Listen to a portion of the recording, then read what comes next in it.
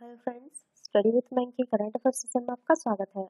ये current affair SSC banking railway state PCS CDS CAPF NDA और other competitive exam आदि में सहायक होंगे।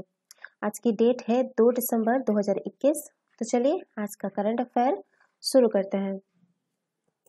आज का पहला प्रश्न है, विश्व एड्स दिवस निम्न में से किस दिन मनाया जाता है? ऑप्शन ए दस जनवरी, ऑप्शन बी बारह मार्च, ऑप्शन सी एक दिसंबर, ऑप्शन डी पच्चीस अगस्त।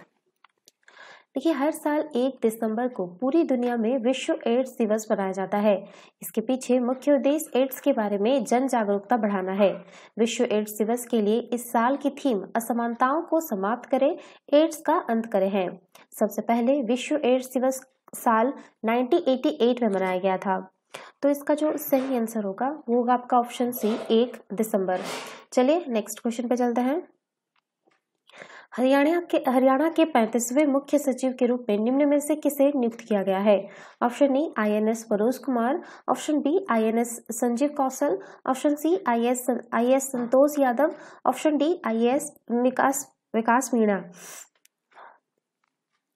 देखिए, हरियाणा के पैंतीसवें मुख्य सचिव के रूप में आईएएस संजीव कौशल को नियुक्त किया गया है। निवर्तमान मुख्य सचिव विजय वर्धन के सेवानिवृत्त होने के बावजूद की वजह से यह पद खाली हुआ था। संजीव कौशल हरियाणा के पैंतीसवें और मुख्यमंत्री मनोहर लाल की सरकार के पाँचवें मुख्य सचिव होंगे। संजीव कौशल मुख्यमंत्री के प्रधान सचिव रह चुके हैं। संजीव कौशल को प्रदेश सरकार ने मुख्य सचिव के अलावा सामान्य प्रशासन विभाग, संसदीय कार्य मामले, विजिलेंस, सार्वजनिक सुधार विभाग और योजना समन्वय विभागों की भी ज़िम्मेदारी सौंपी है। तो इसका जो सही आंसर होगा, वो होगा आपका ऑप्शन बी, संजीव कौशल। चलिए, नेक्स्ट क्वेश्चन पे चलते हैं। क्वेश्चन नंबर थर्ड है। भारतीय राष्ट्रीय राजमार्ग प्राधिकरण ने हाल ही में कौन से एक्सप्रेसवे के निर्माण का प्रस्ताव रखा है? Option A, Gorakhpur Siliguri expressway option B, Yamuna expressway option C, Mumbai Pune expressway option D Ahmedabad Vadodara expressway देखिए, राष्ट्र भारतीय राष्ट्र, राष्ट्रीय राज राष्ट्रीय राजमार्ग प्राधिकरण यानी एनएचएआई ने उत्तर प्रदेश के गोरखपुर से बिहार से गुजरते हुए पश्चिम बंगाल के सिलीगुड़ी तक एक और एक्सप्रेसवे के निर्माण का प्रस्ताव रखा है। यह गोरखपुर सिलीगुड़ी एक्सप्रेसवे की कुल लंबाई में से फोर सिक्स लेन कॉन्फ़िगरेशन के एक्सप्रेसवे का 450 किलोमीटर हिस्सा बिहार से होकर गुजरेगा। यह नया प्रस्तावित एक्सप्रेसवे गोपालगंज से बिहार में प्रवेश करेगा और इसका अंतिम छोर किशनगंज में होगा। यह एक्सप्रेसवे इसी क्रम में सिवान, छपरा, मुजफ्फरपुर, सीतामढ़ी, मधुबनी, सुपौल, सहरसा और पूर्णिया को पार करेगा। तो इसका जो सही आंसर होगा, वो आपका option option A, Gorakhpur Siliguri expressway चलिए, नेक्स्ट क्वेश्चन पे चलता है। अरुणाचल प्रदेश ने अभी हाल ही में भारत का कौन सा पहला प्रमाणित जैविक फल लॉन्च किया है? ऑप्शन ए, तरबूज, ऑप्शन बी, संतरा, option C, kiwi, option D, सेब। देखिए 28 नवंबर 2021 को अरुणाचल प्रदेश के ज़ीरो वैली फॉर्म में भारत की एकमात्र प्रमाणित जैविक कीवी को आदि महोत्सव नामक एक मेगा राष्ट्रीय जनजाति महोत्सव में लॉन्च किया गया है।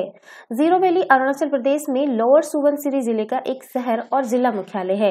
यह उत्सव नई दिल्ली में दिल्ली हाट आईएनए में आयोजित किया जा रहा है। अरुणाचल प्रदेश पहला ऐसा भारतीय राज्य है जिसने mission organic value chain development for north east region के तहत कीवी फ्रूट का जैविक प्रमाणीकरण प्राप्त किया है। यह योजना उत्तर पूर्वी राज्यों के लिए शुरू की गई केंद्र सरकार की योजना है। तो इसका जो सही आंसर होगा, वो होगा आपका ऑप्शन सी कीवी। चलिए नेक्स्ट क्वेश्चन में चलता है। किस मशहूर फुटबॉलर ने रिकॉर्ड सातवीं बार सर्वश्रेष्ठ फुटबॉलर का बैलन और अवार्ड जीत लिया है? Option A Cristiano Ronaldo option B Sunil Chhetri option C Neymar Paris option D Lionel Messi देखिए, अर्जेंटीना के स्टार फुटबॉलर लियोलन मेसी को ने रिकॉर्ड सातवीं बार बैलन डी और 2021 का खिताब जीत लिया है। लियोलन मेसी सबसे ज़्यादा बार इस खिताब को जीतने वाले खिलाड़ी हैं। इस अवार्ड का सबसे ज़्यादा बार जीतने वाले दूसरे खिलाड़ी पुर्तगाल के स्टार खिलाड़ी रोनाल्डो इस बार छठे स्थान पर रहे। क्रिस्टियानो रोनाल्डो ने पाँच बार इस खिताब को जीता है। बता दें कि Ballon d'Or d'Or award France की फुटबॉल पत्रिका बैलन डियोर द्वारा हर साल दिए जाते हैं। यह अवार्ड जो है वो आपका क्लब और राष्ट्रीय टीम से एक साल में सर्वश्रेष्ठ प्रदर्शन करने वाली खिलाड़ी को दिया जाता है। तो इसका जो सही आंसर होगा वो होगा आपका ऑप्शन डी लियोलन मेसी चलिए नेक्स्ट क्वेश्चन पे चलते हैं। अरुणाचल प्रदेश सरकार ने निम्न में से किस फ़िल्म अभिनेता को राज्य का नया ब्रांड एम्बेसडर नियुक्त किया है? Option A, Salman Khan, option B, Sanjay Dutt, option C, Ajay Devgn, option D, Shahrukh Khan. देखिए, बॉलीवुड अभिनेता संजय दत्त को अरुणाचल प्रदेश के नामकरण की पचासवीं सालगिरह के अवसर पर राज्य का ब्रांड एम्बेसडर नियुक्त किया गया है। संजय दत्त हर साल ज़्यादा से ज़्यादा फ़िल्में करने के लिए जाने जाते हैं। भले ही अब वह लीड रोल में बेहद कम नज़र आते हैं, मगर उन्हें अच्छे सपोर्टिंग रोल्स मिल रहे हैं। अरुणाचल प्रदेश पर्यटन के लिए, पर्यटकों के लिए खान पान एड फ़िल्मों के अलावा संजय दत्त राज्य के युवाओं के साथ नशा मुक्ति अभियान और अन्य प्रमुख ऐसे मुद्दों पर पहल करेंगे जो राज्य में चिंता का कारण कारण बने हुए हैं। संजय दत्त से पहले सितंबर 2016 में जॉन अब्राहम को अरुणाचल प्रदेश के पर्यटन में ब्रांड एम्बेसडर बनाया गया था। तो इसका जो सही आंसर होगा, वो होगा आपका ऑप्शन बी, संजय दत्त। चलिए नेक्स्ट क्वेश्चन पे चलता है। हाल ही में किस राज्य के पुलिस ने call for cop mobile app launch किया है? Option A, Bihar, option B, Jharkhand, option C, Tamil Nadu, option D, Nagaland. देखिए, नागालैंड की पुलिस ने call for cop mobile app launch किया है। ऐप को एक्सोलॉजिक एक्सोलॉजिस के टेक सॉल्यूशंस प्राइवेट लिमिटेड द्वारा विकसित किया गया था। ऐप राज्य के सभी नागरिकों को विशेष रूप से संकटग्रस्त लोगों को सीधे पुलिस से संपर्क करने में सक्षम बनाएगा, क्योंकि यह केवल एक क्लिक की दूरी पर आसानी से उपलब्ध है। ऐप में एक निर्देशिका, अलर्ट, पर्यटन, पर्यटक सुझाव, एसओएस, निकटतम पुलिस स्टेशन और खोज शामिल है। तो इसका जो सही आंसर होगा, वो होगा आपका option option option D, Nagaland. चलिए नेक्स्ट क्वेश्चन पे चलते हैं। प्रतिवर्ष सीमा सुरक्षा बल का स्थापना दिवस कब मनाया जाता है? ऑप्शन ए, एक दिसंबर। ऑप्शन बी, दो दिसंबर। ऑप्शन सी, तीन दिसंबर। ऑप्शन डी, चार दिसंबर। देखिए प्रतिवर्ष जो है, एक दिसंबर को सीमा सुरक्षा बल का स्थापना दिवस मनाया जाता है। भारत पाकिस्तान युद्ध के बाद भारतीय सीमाओं की रक्षा करने के विशेष उद्देश्य के मद्देनजर वर्ष 1965 में बीएसएफ की स्थापना की गई थी। यह गृह मंत्रालय की प्रशासनिक नियंत्रण के तहत पाँच केंद्रीय सशस्त्र पुलिस बलों में से एक है। आपकी बात करें अन्य अन्य सशस्त्र पुलिस बलों के बारे में तो इसमें आपका पहला है केंद्रीय रिज़र्व पुलिस बल, यानी सीआरपीएफ दूसरा केंद्रीय औद्योगिक सुरक्षा बल, यानी सीआईएसएफ तीसरा भारत तिब्बत सीमा पुलिस बल, यानी कि आईटीबीपी और चौथा है आपका सशस्त्र सीमा पुलिस बल, यानी एसएसबी और पांचवा आपका बीएसएफ है। बीएसएफ के जवानों को नक्सल विरोधी अभियानों, भारत भारत पाकिस्तान अंतर्राष्ट्रीय सीमा, भारत बांग्लादेश अंतर्राष्ट्रीय सीमा, और एलओसी पर तैनात किया गया है। बीएसएफ द्वारा अपने अत्याधुनिक जहाजों के माध्यम से अरब सागर में सरक्रेक और बंगाल की खाड़ी में सुंदरबन डेल्टा की सुरक्षा की जाती है। इसके अलावा बीएसएफ आवश्यकता पड़ने पर प्राकृतिक आपदा के दौरान मानवीय जीवन को बचाने का कार्य भी करता है। साथ ही इसके प्रशिक्षित कर्मियों को संयुक्त राष्ट्रीय शांति अभियान में भी भेजा जाता है। तो इसका जो सही आंसर होगा, वो होगा आपका ऑप्शन ए, एक सितंबर, एक दिसंबर सॉरी चलिए नेक्स्ट क्वेश्चन पर चलते हैं। नागालैंड का 59 स्थापना दिवस कब मनाया गया? ऑप्शन ए एक दिसंबर 2021 ऑप्शन बी दो दिसंबर 2021 ऑप्शन सी तीन दिसंबर 2021 ऑप्शन डी चार दिसंबर 2021 देखिए, वैसे भी मनाया गया, मैं बोल रही हूँ। वैसे भी ये आज का है ये, और ये बाकी दो, कल और परसों का है तो ये तो हो ही नहीं सकता है। देखिए, एक दिसंबर 2021 को नागालैंड का उनसठवा स्थापना दिवस मनाया गया। नागालैंड एक दिसंबर 1963 को भारतीय संघ के सोलहवें राज्य के रूप में अस्तित्व में आया था।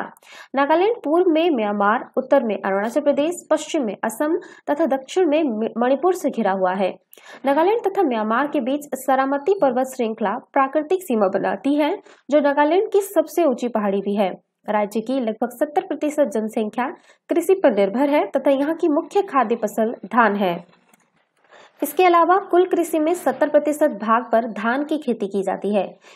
यहाँ खेती की स्लेस तथा वन प्रणाली प्रचलित है, जिसे स्थानीय तो स्तर पर जो है झूम खेती कहा जाता है राज्य का दीमापुर जिला पूरे देश में रेल एवं हवाई यातायात से जुड़ा है।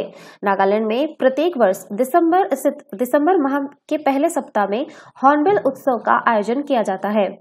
तो इसका जो सही आंसर होगा, वो होगा आपका ऑप्शन ए एक सितंबर, एक दिसंबर 2021 चलिए नेक्स्ट क्वेश्चन पे चलते हैं। हाल ही में किस प्रसिद्ध तेलुगु फिल्मकार और पद्मश्री पुरस्कार से सम्मानित गीतकार का निधन हो गया? Option A Gopal Varma. Option B S S Rajamouli. Option C Sirivennela Seetharama, Sitarama Shastri. Option D Daggubati Venkatesh.